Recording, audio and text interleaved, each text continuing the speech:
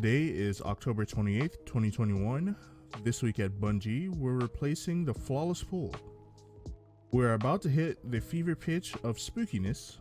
Ghosts are around every corner, and we don't mean the friendly type that revives you after taking too much damage.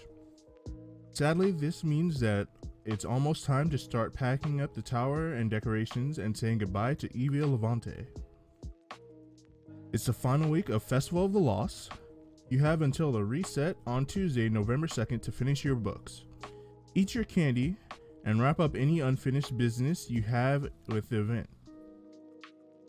We've recently fixed some issues with candy and spectral pages drops from public events and Trials of Osiris. So if you're jamming out some pages to finish your book, don't sleep on these activities. Throw on a mask, eat some candy, and earn some rewards. While you're extracting whatever loot you can from the Headless Ones, Trials of Osiris will also start up tomorrow and run until Festival of the Lost ends at reset as usual.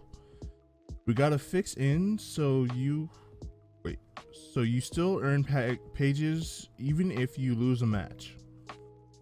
And and that is not all we are changing. Trials and matchmaking changes. The last few weekends of Trials of Osiris have been a have wait have been a bit quieter in some changes in terms of changes. This was by design.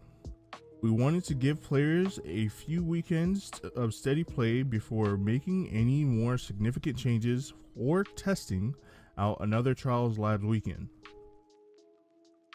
This gave our team some great data for how the trials pages are going, how players are engaging with the activity, and what we could prioritize changing in the future.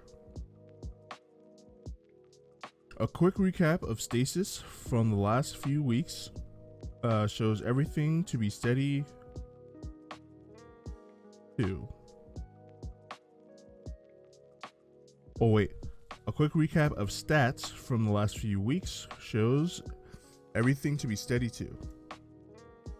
Matchmaking times are consistent with past weeks. Blowout rates drop slightly week after week. This is consistent with lower skilled players not playing as much. Average hours played per player remains consistent across skill levels.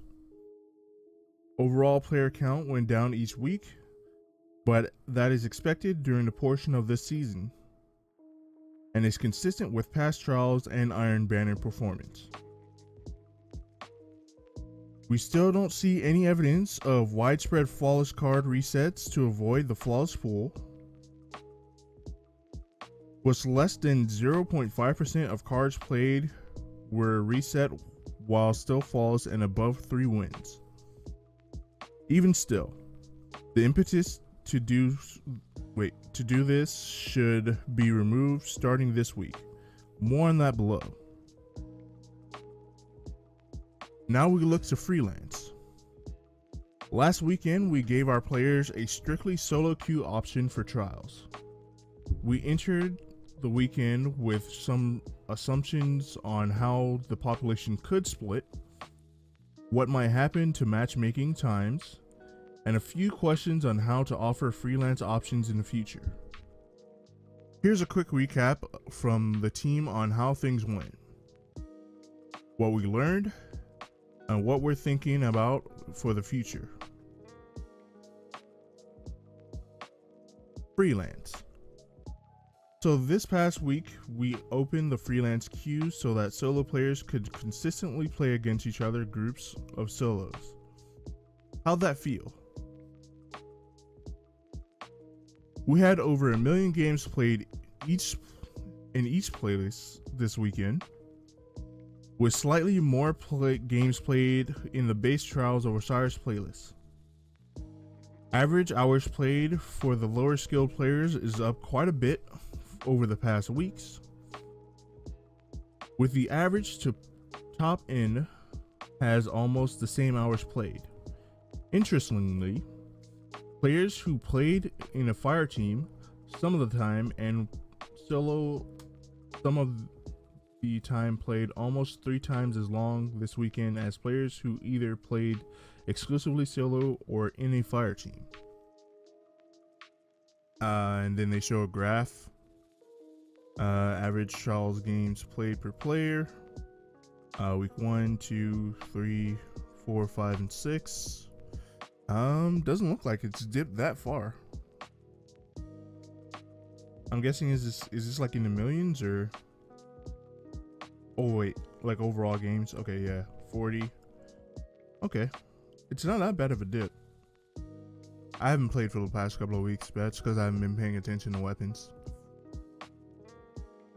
Uh, player numbers 244,000 freelance exclusive players, 120,000 fireteam exclusive players, 220,000 played both solo and in a fire team. 25.5% of players went flawless, lower than any revamp week.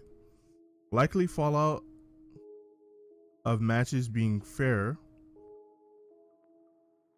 Uh, if it doesn't drop below 20% for a weekend, the lighthouse should still feel attainable. Average matchmaking times were consistently around 50 seconds for full fire teams and solos, and regularly were about 100 seconds for duos. The Sunday Flawless Pool adds about 10 seconds to flawless player matchmaking, and we are seeing some worrying spikes in matchmaking times for some of the smaller sub pools post flawless pool split. I, I, I still don't understand the flawless pool. I don't like okay, I get the flawless player pool, but I don't agree with it. Cause like at the end of the day, we don't want to be farmed by people who do nothing but farm flawless. Like the average player, once they get flawless, like they don't want to play anymore because, especially once the flawless pool becomes a thing.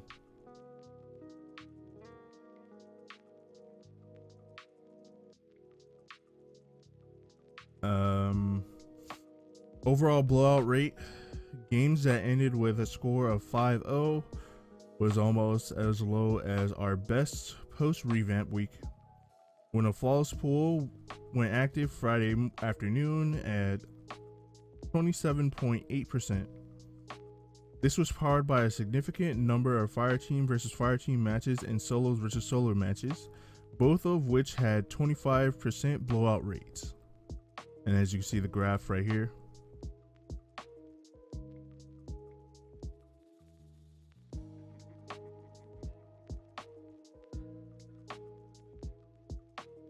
And then they give a percentage of match outcomes this week freelance versus base. Uh, let's go next. One thing we aren't happy with is the team balance. We've noticed that how the solo playlist isn't doing a great job balancing two teams when they aren't any fire team match matches. Oh, damn it, I keep on hitting my mic. I'm sorry, I'm gonna move it. A little too close.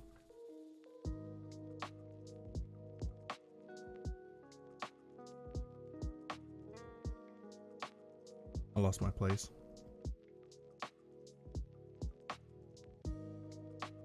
Oh, mismatches. For trials, it's currently just picking teams randomly. We are going to look very carefully at how teams are selected over the next few weeks and hopefully have a better balance next time freelance rolls around.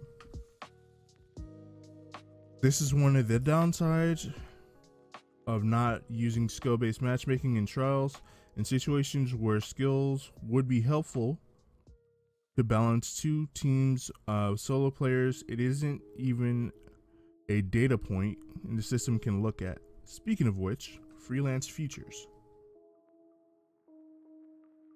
We like the overall outcome and vibe of the freelance queue, and both playlists seem to have a visible, viable amount of players.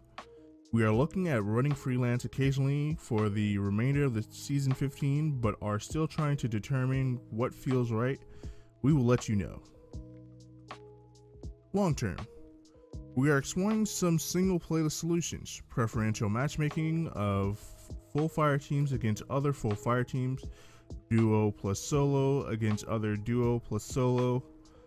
We don't have a specific release target yet for this year, but it will not be but it will not be prior to season 16. Okay. Now we got the flawless pull changes. Flawless pull, which we have been enabling Sunday at reset time, has very positive benefits.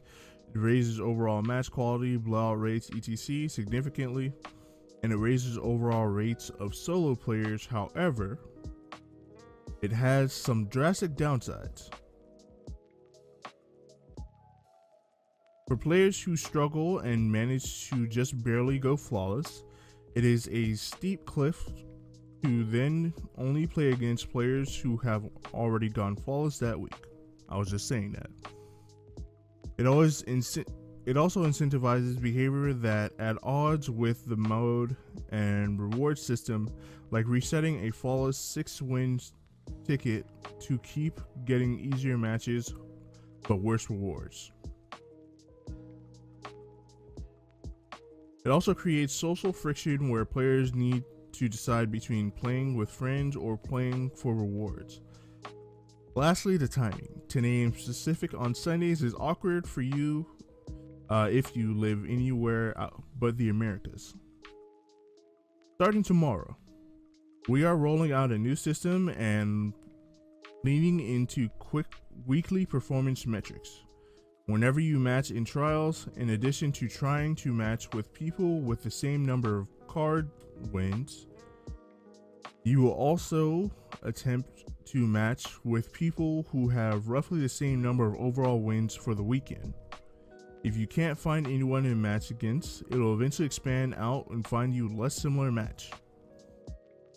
For the people, well, for the PvP gods who go flawless 10 times a weekend, we will end up matching with other players who have, for example, 70 plus wins on their card. No matter how they got them, for average team who get lucky flawless on Friday or Saturday on their first card, well, they will be matching against players with around 7 wins, no matter how they got them. So whether or not you went flawless or not, if you got seven wins on your card, whether or not you reset or not, you'll be playing against people who got that amount of wins. That works. We are hoping this will give us many of the benefits of the flawless pool system, somewhat fairer matches, without a significant downside. Specifically, there should be no major inf- inflection point where everything is smooth prior to a win. And then anything is overly challenging after. While this allows us to remove the flawless pool, it does not have wait, it does have a potential downside. Longer matchmaking times. We think there is a reasonable trade-off here between match quality and matchmaking time Average trials matchmaking times currently sit around 50 seconds.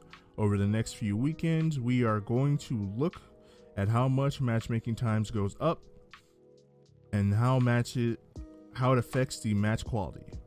The outcome of the previous non-labs week were, and then you know, get a whole bunch of numbers here. You can read them on your own. In an ideal world, we want to get each of those numbers to a close 20% as possible. But we would rather see more 5 4, 5 3 outcomes than 5 0, 5 1. As always, we are going to be listening closely to your feedback as well as looking at aggregating stats to continue tuning matchmaking for trials to strive for the best experience possible. Plus one. It's been a minute since we've had a pleasure of introducing new community manager at alas, that time has come. We are expanding our team to have a new CM, community manager, joining our ranks. Please give a warm welcome to Lena, aka Hippie. Oh, Liana. Liana, aka Hippie. Is this like a what is this linked to? Is this like a Twitter page or something? Oh, yep, there it is. There it is. Our new community manager.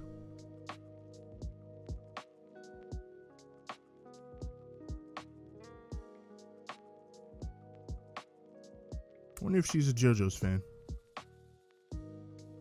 And uh, speaking in the voice of Hippie, greetings, Guardians. What? Greetings, Guardians. To say I'm excited to be here would be a massive understatement. My love for Bungie started long before the game, before we became Guardians, back in the pathway into Darkness days.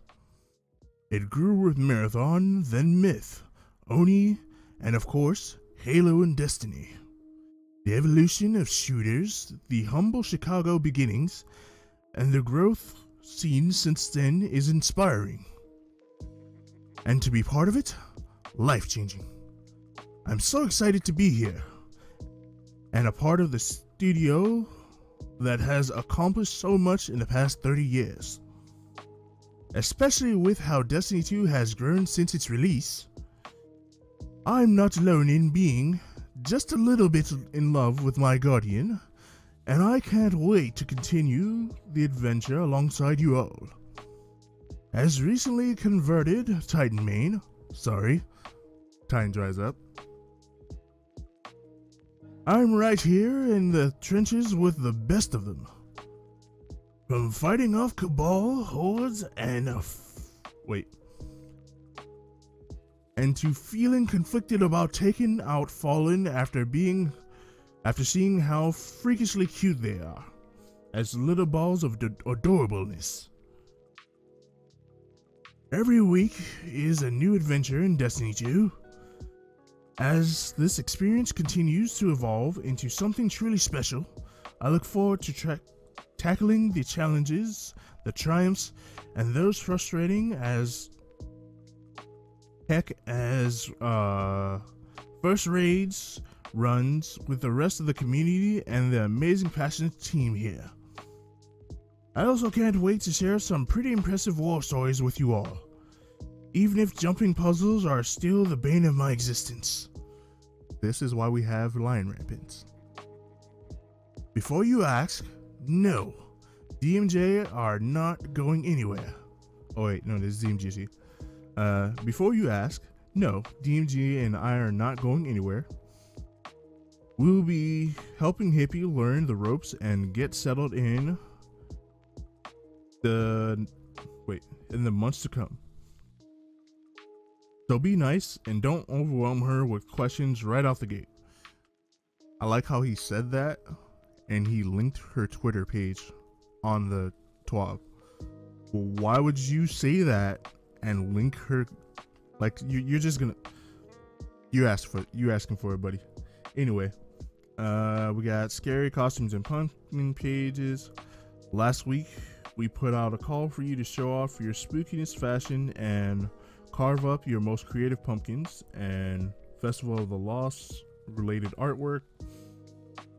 We've been away by we've been blown away by a number of amazing entries and wanted to showcase some ones that have caught our eyes so far. Oh, this guy basically looks like a Vex, nice. Is this like an Among Us picture?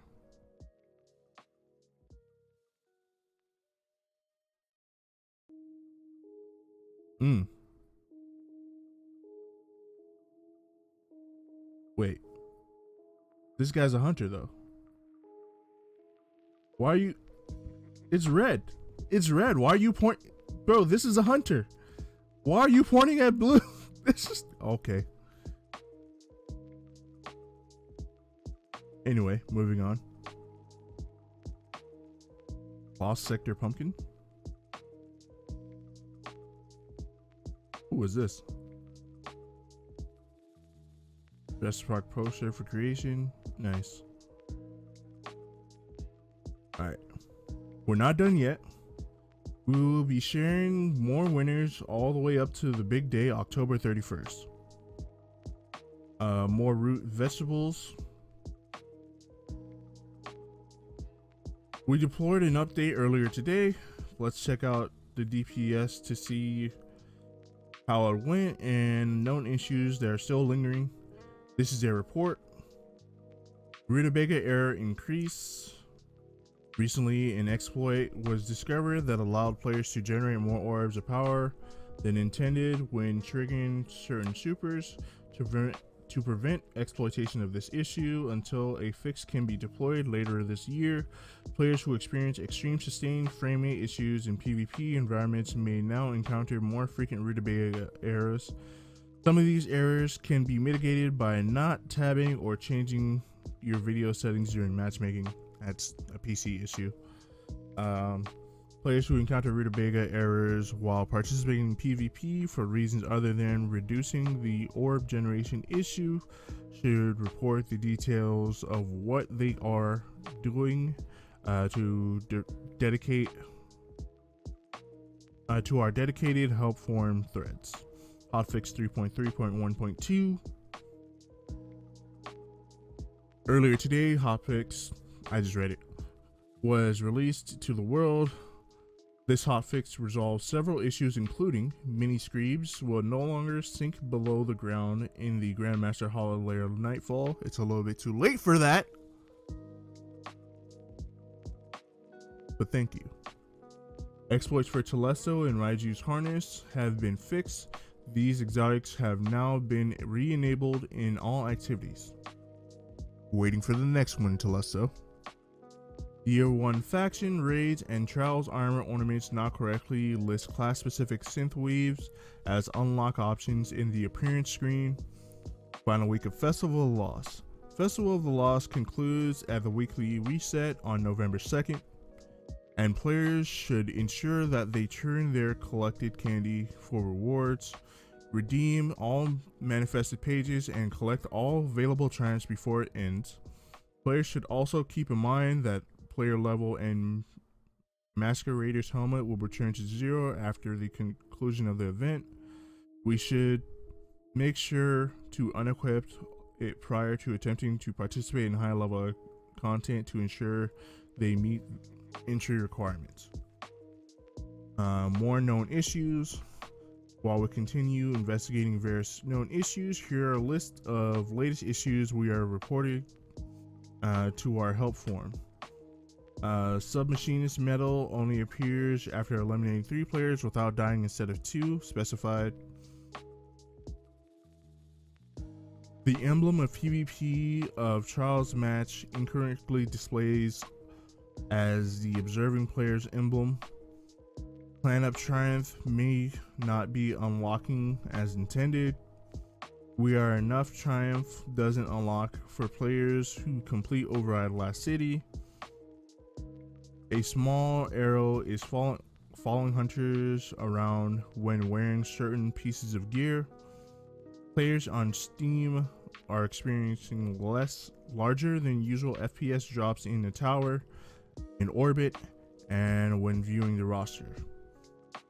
Club the relic orb may not spawn in corrupted strike when fighting Sedia. That's gonna suck for this week. Uh, for a full list of emergent issues in Destiny 2, players can review our known issues articles. Players who observe other issues should report them to our help form. Uh, we got some more movie of the month. Looks like a Marvel movie of the month. Uh, Blair Witch Queen. Uh, artist of the week. Got some pretty neat art here. You can find them on Twitter. Are these baby baby falling? Look at them. Alright, for the wrap up. With Festival of the Lost coming to a close, we are nearing the end of scheduled seasonal beats for a bit. So it's time for free play next week. Saladin will be hosting the Iron Banner, so mark that on your calendars if you need some quick pinnacle jobs or want to hunt some rolls on your banner weapons. After Iron Banner next week, we still have trials going uh, throughout November with new matchmaking changes mentioned in this TWAB. We can also Wait, you can also this time catch up on some catalysts, knock out some triumphs, or finish anything else taking up space in your quest log. We have some fun stuff planned for our 30th anniversary in December. It's going to be a great time to play some Destiny. Love, Cozmo. All right, so that's our uh, weekly breakdown of this week at Bungie. If you like the video, drop me a like, comment uh, on anything that you want to have further discussions on in the comment section below. This has been the Cel Games. Have a good day.